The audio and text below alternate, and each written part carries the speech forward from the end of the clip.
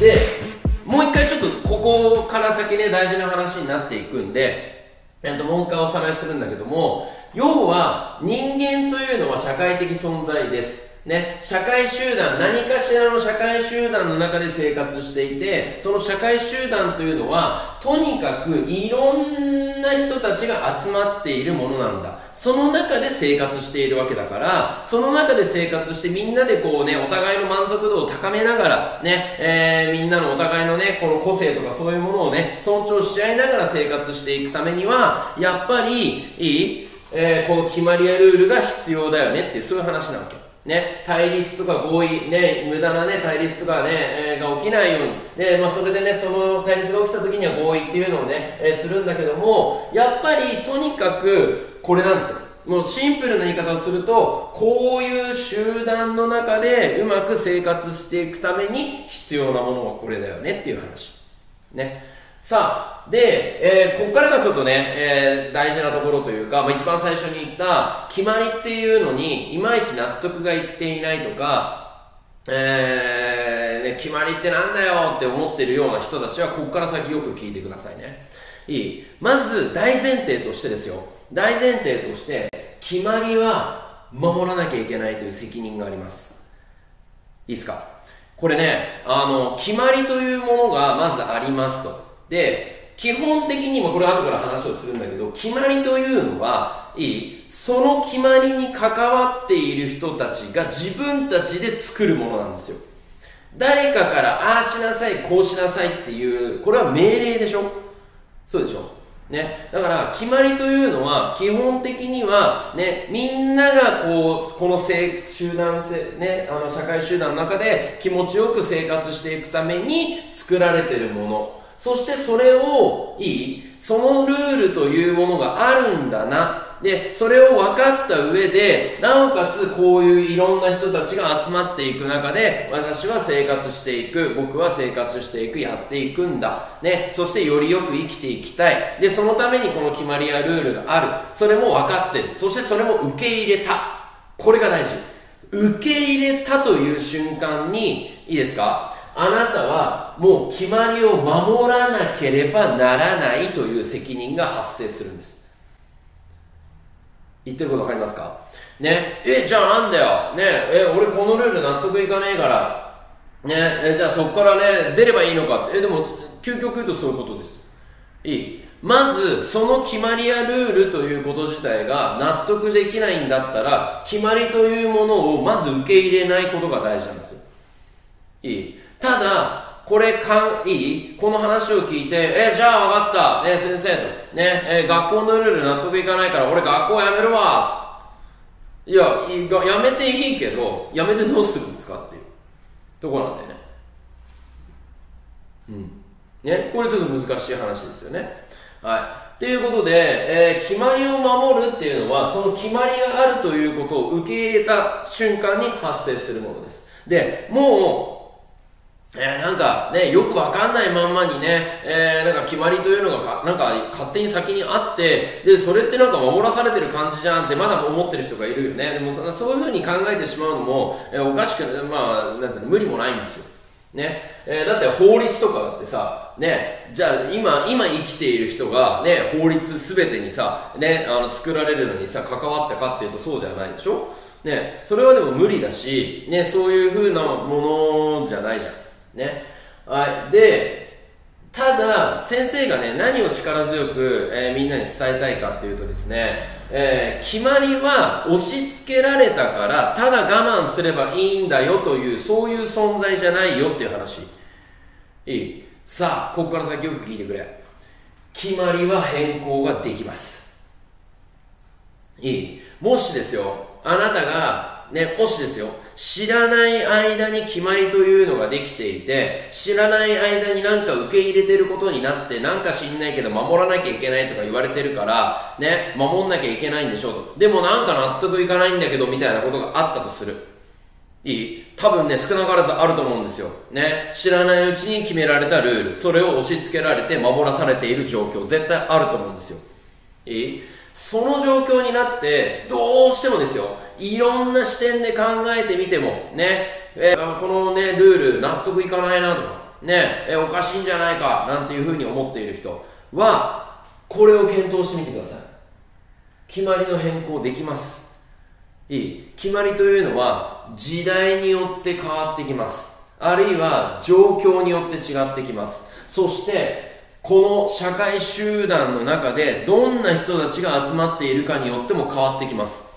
ある社会集団の中ではそれは違うよねっていうことでもこの集団の中ではえ俺たちはこれでいいと思ってるよ俺たちはこれでやっていくよっていうそういう違いがあったって別にいいわけじゃないですか。そうでしょ？だからその時代時代あるいは状況状況ね社会集団の中にいる人によってこの決まりというのは変わってくるものなんだよっていう。だから絶対的なものじゃないんだっていうのをちょっと今日は学んでってほしいんですでね、えー、その上でですその上で、えー、抑えなきゃいけないのがですね、ここだからすごく難しいんだよね。先生もね、これ授業やるときにね、すっごいちょっと、なんだろうな、考えるっていうかなんか悩んでたのが、何なのかっていうと、これ言い方一つさ、間違っちゃうとさ、なんか変に煽ることになっちゃうんだよね。うん。だから、バンバン学校の先生とか学校に反抗しろとか、ねえー、校則なんかふざけんな、ね、えー、思ってる人結構いたりとかするじゃない？だからさ、そういう人たちをさ、こう立ち上がらせてさ、なんかこいつ革命でも起こそうとしてんのかみたいなさ、ね、あそう、そういうことじゃないんですよ、先生が言いたいのは。そういうことじゃないんだけども、えー、そういうことじゃないんだが、これ先生自身もずっとそうだったからこだわってきているっていうのもあるしそれで思って伝えたいのはあのもしそのルールというものに縛られて苦しんでいる人がいたらそれは救ってやりたいなって思ってるんだよね。うん。別にねあのー、なんかさあの髪をさ金髪にしてさねタバコ吸ってさなんかこういうふうにさタトゥー入れてさそういうのがしてんだねそんなのをさ禁止するルールおかしいだろとかって言ってさそういう人たちに立ち上がってくれって言ってるわけじゃないんですよ。別にね先生は別に金髪にしようがタトゥーにしようがさねあなたが本当にそれでいいんだったらどうぞと思ってますよ。本当にいいんだったらねそこだからいい？あの君たちが、まあ、今ね見てる人がね例えばじゃあ中学生だったとして中学生なりにもいろんな視点でやっぱ考えてほしいんですよね。この決まりを変更しようとするならいいです。先生の今のこの話を聞いてああ道先生がそう言うんだったら俺も立ち上がるぞってルール変えるぞって動くのは全然いい。動くのは全然いいんだけどなぜその決まりやルールがそもそも存在しているのかをよく考えることそうでしょ？何かの理由があってその決まりやルールというのは存在してるんですよ。絶対的になんか理由があるんですよ。いい？だからなんでそれが存在してるのかっていうこともやっぱ考えなきゃいけないしさ。ねそれで変えた中でいい？今と変えた後とでじゃあみんなのいろんな視点で考えてどれくらい満足度が上がるのかだよね。新しいルールにしたから苦しむ人が増えました。これダメじゃないですか。そうでしょ？はい。だから、いろんな視点で考えて、ここに踏み切ってください。いいですか？じゃあまず、決まりの変更なんですけども、えー、まあ、いくつかの手順がありますので紹介していきます。まず一つ目、5つの視点で決まりをまず評価しましょうっていうやつ。いい5つの視点で何かっていうところなんですけど、すいません、これちょっとね、教科書にね、えー、書いてあるんだけど、えー、ちょっと長いんでね、ちょっと読ませてもらいますね。まず1つ目なんだけども、決まりの目的は何かその目的は理にかなっているのかだから先生さっき言ったじゃんなんでその決まりが存在しているのかっていうね、えー、その決まりがある目的理由は何なのか、ね、でそれは理にかなってるのかっていうね、えー、いうことが一つ目。二つ目。その目的を実現するために適切な手段となっているのか。いい。例えばだけどもじゃあ、えー、じゃあ定期講座中に、えー、定期テストの勉強中に、えー、スマホを、えー、禁止しましょうっていうね、家庭のルールがあったとしてだよ。家庭のルールがあったとしてじゃあそのルールの理由はじゃあ何なのっていうのは多分みんなに勉強してもらいたいとか、えー、あるいは、えー、学力向上してもらいたいとかね、えー、勉強集中してほしいとか、まあ、多分そういう目的だと思うんだけどその勉強に集中してほしいとか勉強頑張って成績上げてほしいという目的があると思うんだけどそれをいいそれを達成するためにそのスマホを禁止するというルール自体がいい適切なのかっていう話なの。いい。まあだからここをねあの、まあ、よくあるルールだと思うんですよ。で先生はあのおすすめしてます。スマホね禁止した方がいいと思います。ね、先生もすぐスマホね、気になっちゃう人だから、やっぱ集中できないし、それでね、えー、勉強をね、あのー、疎開されちゃって成績が伸びないなんてことがあるから、やっぱり自分でね、あの、スマホはね、遠くに置いて気にしないようにして勉強に集中するんだっていう人ができない限りは、お家の人に手伝ってもらって、お家の人が管理するとかっていうのは、まあ、一つの手段として先生は間違ってないと思うんだけど、ただ、検討しなきゃいけないのは、じゃあ果たしてスマホを禁止したから成績が上がるんですかなんだよね。で、あるいはスマホを禁止したからって勉強に集中できるんですかっていうことなんだよね。うん。で、ここを検討するべきなんだよ。ね。いや、スマホを禁止したけど漫画は禁止されてないから漫画読んじゃったじゃダメなわけじゃん。そしたら漫画もスマホを禁止しなきゃいけないんだよね。いい？だからそこが大事でしょ考えなきゃいけないところ。さあ次。決まりは誰にでも同じように理解できるようにもなっているのか。ね、えー、こういう決まりにしました。ね、えー、そのこういう決まりはこういう理由です。こういう目的があります。で、そういうこういう手段があり、ね、えー、でやっていきますっていうことが、みんながちゃんと理解できるものになってるかって話。OK。で、次。四つ目。立場を変えても受け入れられるものになっているのか。さあ、ここがですね、大人側はですね、これ言われちゃうと結構苦しいんですよ。ねじゃあよ、ね、えー、先生よ、と、ね、いいよと。じゃあ俺たちもスマホ禁止にするからお前も禁止なってなったらさ、ちょっとドキッとしたよね。え？って。え、俺ちょっと禁止されちゃったらそれ困るんですけど、みたいなね。ただ先生はね、先生はそれに関して言うと、あの、私はできますっていう。あなたはスマホがあると勉強できないから禁止というルールがいいルールになルールができてそのルールを、えー、あなたに適用しているけども先生の場合、スマホがあっても勉強できるし成績アップできるんでこのルールを適用する必要がないんですっていうふうに先生だったら返す。さあそれに対して皆さん何て返しますか？そんなの大人だからずるいじゃねえか。ね。俺もできるぜって言うんだったら俺もできるぜを証明しましょうよ。ね。え めんどくせえなこいつって思ったでしょ。ね。先生この手の議論大好きだから超得意なんで。ね。いくらでも来てください。いいですか？さあラスト5つ目。決まりを作る過程に関係する人は全て参加しているのかっていうところ。ね、だから、えーと、例えばじゃあそのスマホをね勉強中はスマホ禁止っていうルールを家庭の中で作った時にやっぱりお家の人だけが決めてはいじゃあこうしなさいっていうのはあんまりやっぱりよろしくないですよね。うん、関係する人だから皆さんもそのルールを作るときにやっぱりそのルール作りに参加してなきゃいけないっていう側面はやっぱりあると思います。ね、ただだからここの部分がねやっぱりね高速ってすごく難しくてあのー、本来ならば、その校則だって、ね、あの、ちゃんとそれが、えー、に関わる生徒と、えー、まあ、保護者とか、地域とか、学校、ね、先生たちが、一指導に集まって、やっぱり校則っていうのも決めていくべきだと思うんですよ。だって関わる人たちがみんなで、ね、え、みんな関わるわけですから。ね。えー、だから、あの、ほら、今さ、結構ほら、ブラック拘束なんて言われてさ、ね、なんかいろいろなね、ルールがさ、これなんでなのとかって言ってさ、いろんな見直しとかがさ、されるような流れになってるじゃないですか。ね。そのこの流れ自体は先生すごくいいなと思うんだけど、ね、えー、やっぱり、こう、そうだね、本当にだよ。本当に正しい手順で、えー、その校則っていうのを作っていくんだったら、先生が今言ったような、はい、生徒、えー、保護者、地域、学校、ね、まあその他もろもろね、関わる人たちが一堂に会して、まあいいよ、さっきみたいにね、代表者たちが集まって話し合うっていうのが、先生は一番ね、適切だとは思います。ただ、適切なのは分かってんだよ。これね、先生たちも分かってんの。そういうのがね、必要だし、そうあるべきだよなってのが分かってんだけど、でも現実どうですか？皆さん。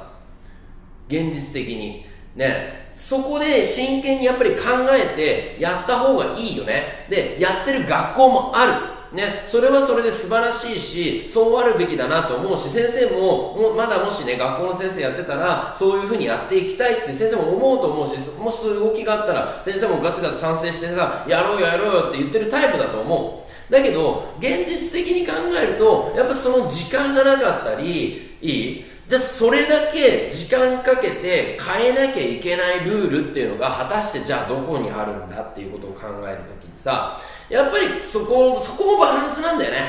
だからここ難しいよね。うん。理想で、ね、今の先生が一番最初に言ったさこれみんなでさ集まって話し合おうよ。は一番理想ですよ。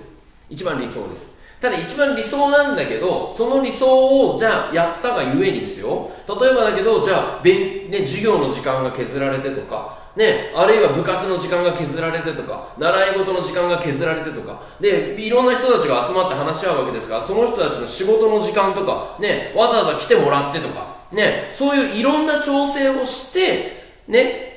あの、まあ、それ、それ、いろんな調整をしてね、それで決めるぐらい重要なことだと思います、校則って。重要なことだと思うし、今こういうふうにいろんな時代にね、移り変わってって、いろんな価値観だとか、えそういう多様性だとかね、えそういうのが言われている時代ですから、そういう時代に合った校則を本気で作るならば、その手続きっていうのは絶対必要なんですよ。なんだけども、そういういろんなトータル考えたときに、ね、やっぱり一歩踏み出せないっていう、ね、踏み出すのが、まあちょっと時間がかかっちゃうとかっていう現実があるっていうのは、先生は教員やってたからよくわか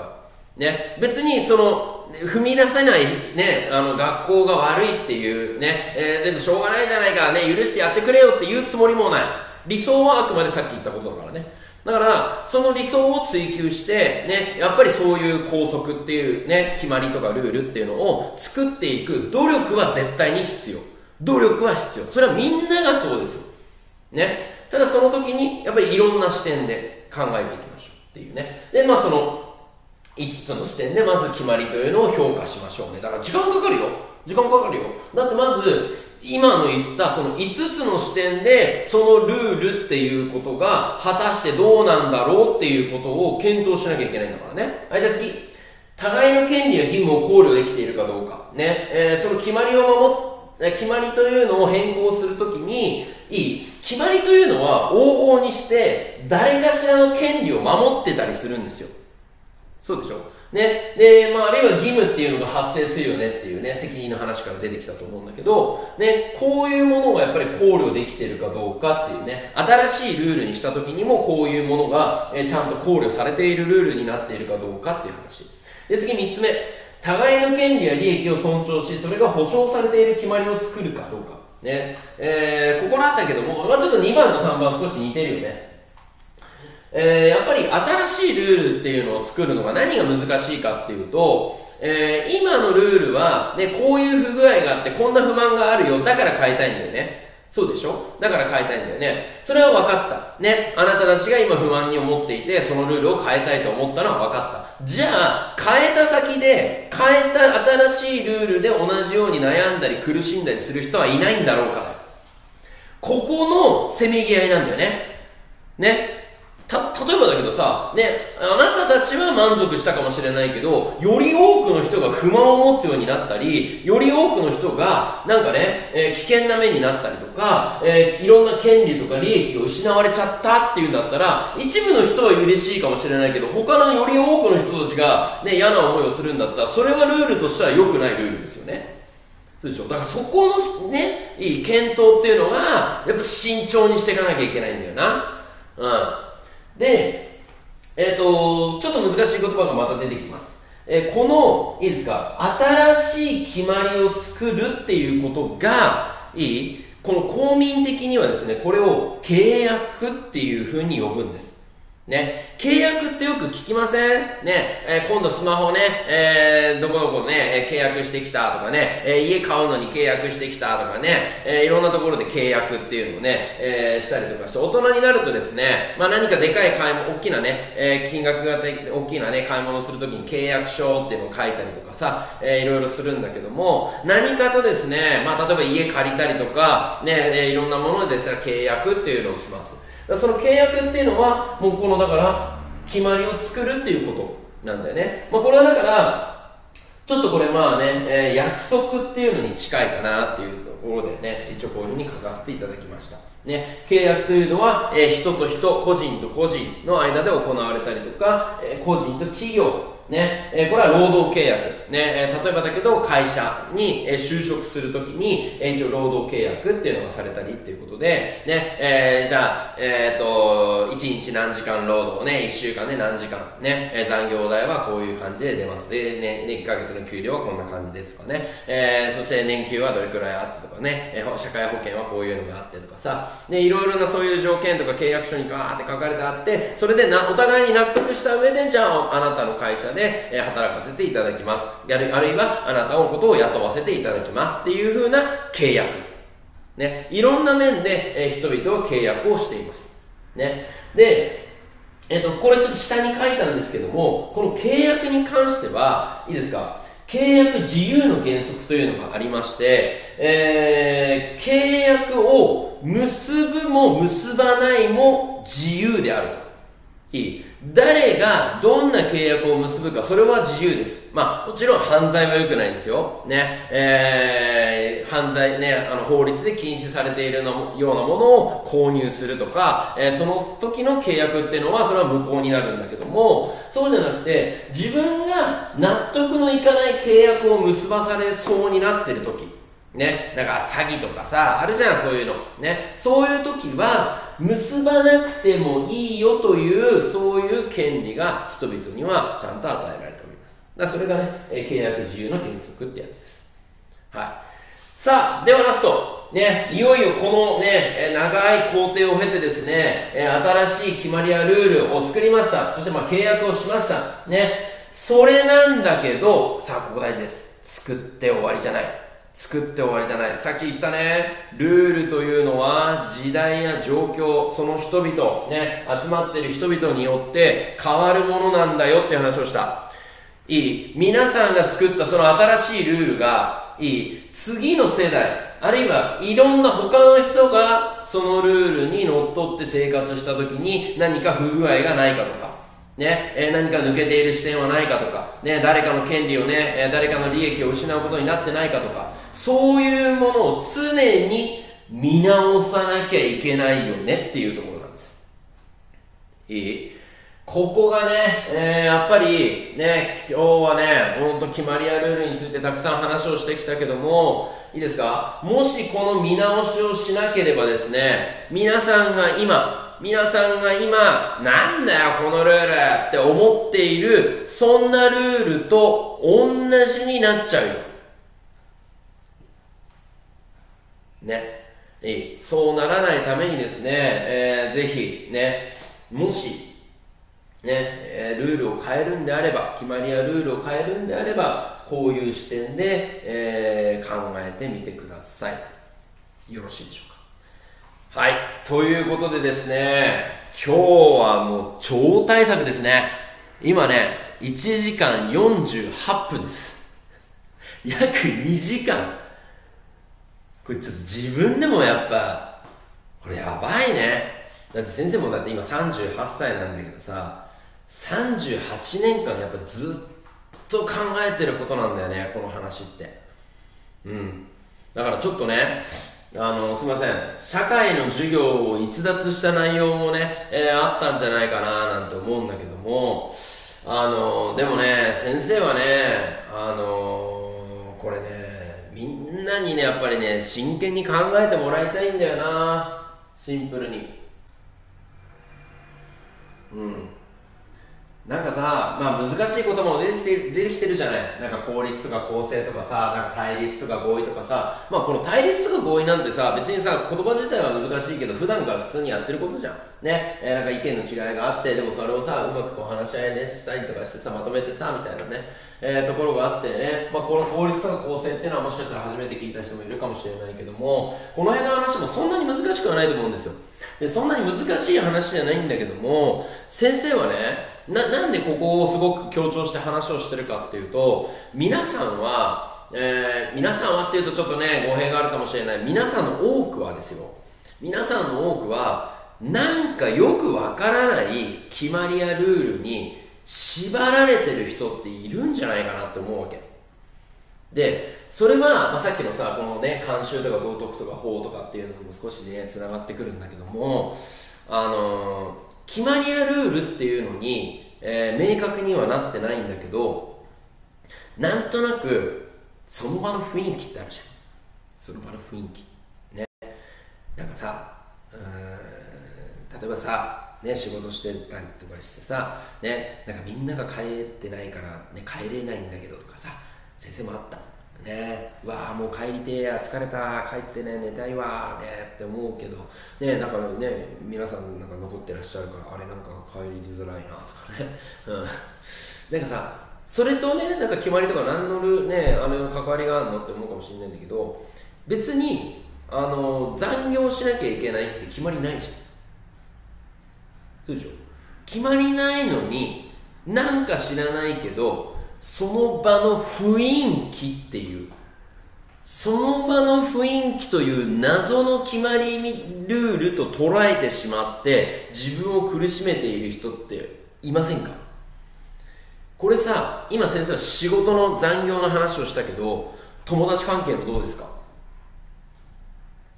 友達関係だってさ、ね、別にさ、ね、友達関係で、ね、あの、そんなね、あの、気使ってさ、自分の言いたいこと言ってもいいのに、ね、なんかね、どう思われるんだろうとかさ、ね、こういうのね、言われ、あの言われたら嫌だなとかっていうのでさ、言いたいこと言えないとかさ、あってさ、我慢してさ、苦しんでる人たちも悩んでる人たちも結構いたりするんじゃない？いい？これはね、あのー、まあ、ちょっと決まりやルールの話とはまたね、ちょっと違うところになっちゃうかもしれないんだけども、先生はあながち全く別の世界の話じゃないかなと思っていて、ね、人が生活する上で、やっぱりこのね、決まりやルールっていうのはやっぱり必要だし、それは守っていかなきゃいけない責任があるっていう。ただ、ここなんですよ、やっぱり伝えていきたいの。変えることができるんだよっていうこと。このね変えることができるんだよっていうことを、えー、持ってるかどうかっていうのがねすごく大きいんですよ。いい？常に自分は何かにとらわれていて何かにがんじがらめにされていて何かから強制されていて自分の意思ではない我慢しているねなんか知んないけどこういうふうにしなきゃいけないんだよねっていう思い込み。いろいろあると思うんだよ。ねいろいろあると思うんだけど変えられるんだよ。いい。人はね変えられるんですよ。それは自分自身もそうだし周りもそうなんですよ。いい。ね周りがを変えたかったらまずは自分が変わることだよ。ねあのー、周りが分かってくれないとかね、えー、周りが変わってくれないとかっていう不平不満を言うくらいだったらまずは自分からまず変わってみる。ね。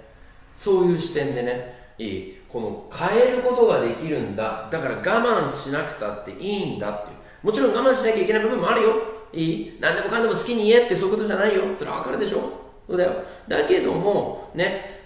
苦しまないで。苦しまないでほしい。いい。何かにがんじがらめになって苦しまないでほしい。いい。そんなんじゃないから変えられるからいいそれが伝えられたらなって思います。ね。はい。ということでですね、もう本当にね、えー、今日は超大作何本分の動画になるんだと。ね、えー、思うところなんですけども、はい、えー、いろいろ考える部分が、えー、あったんじゃないかなと思います。えー、先生の言ってることもね、えー、どっか間違ってたりとかですね、えー、なんだそれって思う部分があっていいんですよ。ね、むしろ思ってほしいです。ね、えー、その上で考えるきっかけになってくれたらいいなと思う。結構今日は先生の視点で話をしました。先生、私はこう思いますと。ね、えー、いう視点で話をしました。だからそこと、もちろん全員を全員その同じ考え方になってほしいなんて思ってもいないし、ね、違う考え方があって全然いい。ね、ただ、先生は、ね、お互いに違うからそれぞれでね、別の世界に生きてるからそれでいいよね、じゃなくて、じゃあ、違う考えを持ってる人たちがいるということを分かったから、じゃあその上で、あ、そうなんだ、違う人たちがいるんだ、違うんだ、みんなっていう。その違うんだ、みんなの上で、その中でどううまく生きていけばいいのかな。ね、えー、どうすればみんなでうまくね、よりよく生きていけるのかな。そんなことを考えるね、えきっかけになってくれたらなって、え、思っております。はい。ということで、えー、今日はね、えー、これで終わりたいと思います。もしね、えー、動画の内容がね、えー、よかったなと思いましたら、え、高評価と、え、チャンネル登録とお願いいたします。で、友達に紹介してくれてね、えー、もともといろんな人にね、え、この授業動画が届けばなと思っておりますので、え、よろしくお願いいたします。では今日はこれで、え、終わりたいと思います。ありがとうございました。